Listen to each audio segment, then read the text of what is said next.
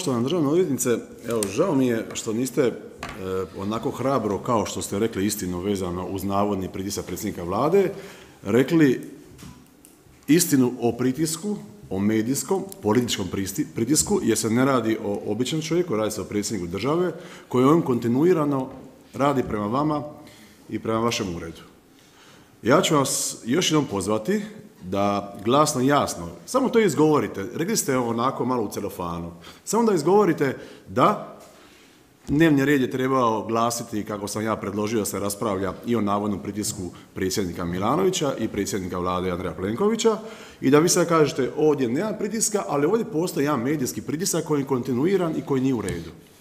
Mi znamo da je on šaljivđija i da čovjek ima velikih problema, vjerojatno zdravstvenih, ali vi sada, a to je bila i namjera predsjednika vlade kada vas je nazvao, da vi sad kažete ono što je, znači da, da je čovjek šaljivđija i da čovjek ima zdravstvenih problema i da on vrši pritisak na vaš ured. Zdravstvenih problema ima predsjednik Republike kog sam ja birao. A bolesna osoba sjedi kraj mene. Aj, šiša, ej. Slušaj. Dobro, ja bi, ja bi, poštovana državna odvjetnica, može to? Ja, kolega Evo, Zekanović, kolega Zekanoviću, ja, ja nisam ovaj, nekakav puritanac ovaj, što se tiče govora i istupa, ali ovaj, nastojite da one koje komentirate da su tu. Znači, mislim da bi bilo bolje. Ja nemam problem kad vi meni ovdje slobodno možete reći što god, što god želite, ali mislim da nema. Sad smo izgubili kolegu Prkačina koji je otišao zbog... zbog Ete, kolega Grma, vi ste zadnji koji će govoriti nekom o izričaju. Vi koji dobacujete neko ima tiskovnu konferenciju, koji kad god ste kolega, u mogućnosti kolega, kolega Zekanović, nadimke. Kolega Zekanović, dakle, imate, zadnji koji imate možete... drugu, imate drugu ovaj, povredu zadnji. poslovnika. Sljedeća će ćete ostati bez riječi. Izvolite. Znači, Jeste li vi primijetili povredu poslovnika? Ja sam primijetio, ja ću upozoriti sada. Hoćete li ovoga ovdje ja ću, opomenuti? Ja ću, ja ću upozoriti, ja ću upozoriti kolega. Hoćete li ovoga ovdje molim vas, nemojte sada na kraju, privešćemo ovo kraju. Dakle... Samo ljubav prijatelju. Ok. Ti nisi zaslužio Prijatelj, ti nisi zaslužio ništa. Kolega Zekanović. Ne. Jedna velika nula. I manje od nule. Kolega Zekanović, mogu vas zamoliti da, da napustite, da dovršimo ovo u miru ovaj, da privedemo kraju ovaj sjednicu. Idemo dalje, dakle imali smo repliku na kolegu Jovanovića, ali on vam nažalost ne može sada ovaj, odgovoriti, pa Dakle, ja neću napustiti sjednicu jer je ljudima poput Zekanovića upravo to i cilj. To je ta destrukcija o kojoj mi govorimo. Što se tiče recepta za vraćanje povjerenja i javnosti e, i građana i medija, svih nas u rad DORH-a, mislim da je recept vrlo jednostavan i evo pokazat ću ga na primjeru Banožića. Dakle, imamo činjenice koje su iznesene u javnost. Na te činjenice trebaju se prikupiti dokazi i na temelju tih dokaza naprosto se podvede neka činjenica potkrijepljena dokazom pod određenu pravnu normu. I kada na taj način u određenoj primjerenoj, pristojnoj dinamici reagira DORH, tada i povjerenje postoji. Tada je potpuno nebitno tko je zvao ili nije zvao. Može se sva sila i svijeta i medija i politike i svih mogućih instanci urotiti protiv rada te institucije. Javnost će vjerovati svojim očima. Onome čemu se može vjerovati. Kažem, činjenica, dokaz i argument. Pravna norma.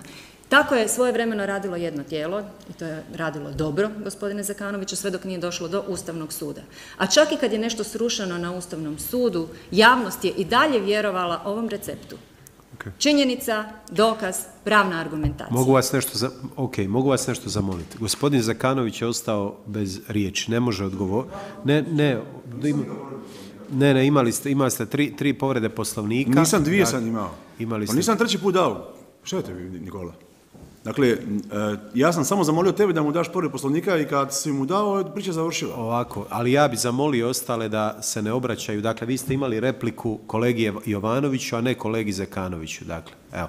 Samo znači, e, poštovani e, predsjedniče, vi ste mene uzeli riječ na osnovu čega objasnite mi? Dakle, što, što je o mene uvrijedio? Dakle, ne, ja sam izrekao povredu poslovnika, vi konstantno upadate u riječ, dakle, mimo mimo pravila i mimo poslovnika. Jeste li vi čuli što on meni izgovorio? Je, jesta, jesam upozorio I da li ste meni, i da li, meni ste ste isto tako, evo, molim Što vas. sam ja njemu rekao? Da, is- isto tako, Što sam mu rekao? kroz cijelo ovo vrijeme napustio je kolega samo Prkačin radi citirate vas. mene, znači branite Jovanovića ovdje, vas sram malo? Ne, ja sam izrekao povredu Pa poslovnika. to je novi koalicijski partner, to svi znamo. Znači, mene ste oduzeli riječ i branite gospodina Jovanovića koji meni vrijeđa kolega, ovdje. kolega Zekanović, zamolio bih vas da, da napustite. Dakle, ne, ne, ne, gledajte, ali znači vi, znači, Zamolio bih vas da napustite. Znači, stali ste na, na stranu gospodina Jovanovića i gospođu, gospođe Ahmetović ovdje, a trbuhu, Ne, trbuhozbora nisam, ste nisam, ne, nisam, dao sam Rus- povredu. najvećeg rusofila u Hrvatskoj.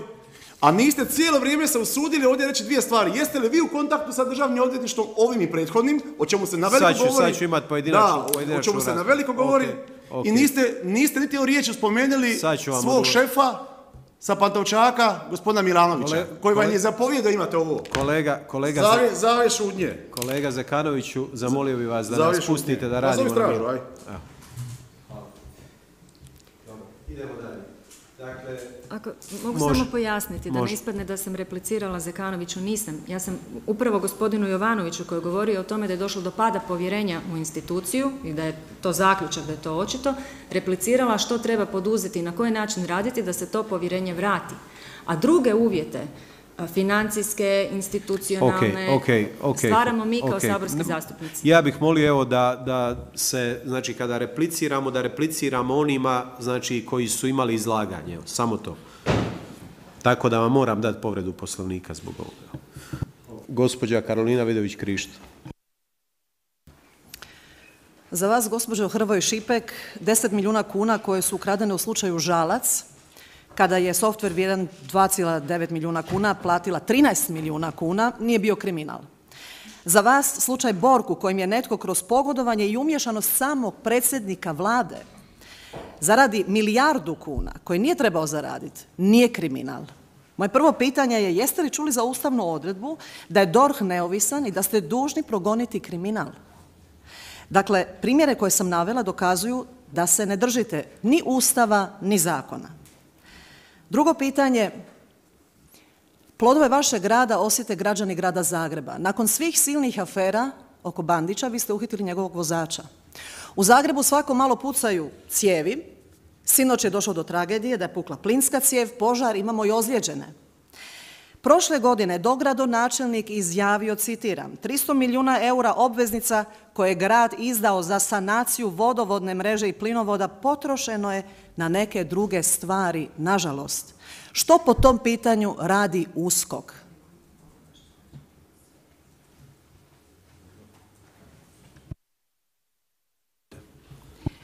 E, Hvala lijepo, uvažena zastupnice. E, Što se tiče grupe Borg, kao što znate, i ako ste pratili naša priopćenja, onda ste vidjeli da je, to se radilo o e, kaznenim prijavama živog zida i slobodne Hrvatske. E, navedene kaznene prijave su odbačene, ne preko noći kao što to neki uporno ponavljaju, što ne odgovara istini. E, nakon odbačaja kaznene prijave, gospodin Todorić je preuzeo, kao štećena osoba, je preuzeo kazneni progon, odnosno pokušao preuzeti kazneni progon. Njegov zahtjev za preuzimanje je odbijen. Odluka protiv tog e, žalio se i e, Vijeće Županijskog suda u Zagrebu je potvrdilo njegovu žalbu na rješenje suca istrage. Drugim riječima, Odbačaj kaznene prijave vezan za takozvanu grupu Borg je prošao kompletnu sudsku e, kontrolu i odluka e, uskoka je potvrđena kao zakonita i osnovana. Što se tiče e, takozvane afere Žalac, meni je samo jedna stvar zanimljiva. Cijelo vrijeme se spominje moja odgovornost, iako ja zapravo s tim nisam bila upoznata i odluka o odbačaju kaznene prijave je donesena prije nego što sam ja stupila na dužnost. Zanimljivo je da se mene proziva za nešto što nisam znala ni vidjela, niti bila upoznata, a kada je jedan od bivših glavnih državnih odvjetnika rekao kako je bio nekoliko dana na godišnjem odmoru vezano za donošenje odluke u jednom vrlo poznatom i razvikanom predmetu, Niti javnost, niti oporba nije postavila, e, niti posumnjala u njegov odgovor, a vi neprekidno pokušavate imputirati meni da sam ja zaustavila nekakav progon. Nisam zaustavila nikakav progon, odluka o odbačaju je bila donesena prije toga. Što se tiče toga zašto taj predmet nije dostavljen ovome, pa vjerojatno će se dogoditi još cijeli niz.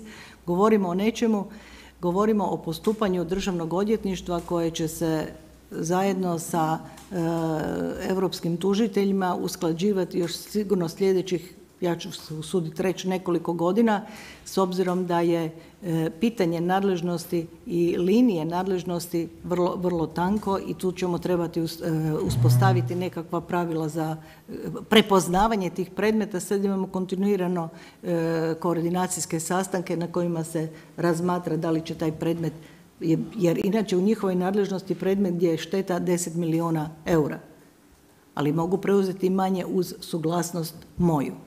Prema tome, mi imamo tu još puno otvorenih, mislim otvorenih, e, pitanja koja će se rješavati kroz praksu. A slučaj Žalac, takozvani slučaj Žalac se dogodio, ne znam, u, tri mjeseca nakon što je počeo sa radom e, europski tužitelj, ured europskog tužitelja. I pardon, ostao je još Bandić. E, uhitili smo onoga kog smo mogli uhititi. Gospodin Bandić je pokojni. Još nemamo pravni model kako pozvati pokojnike na odgovornost.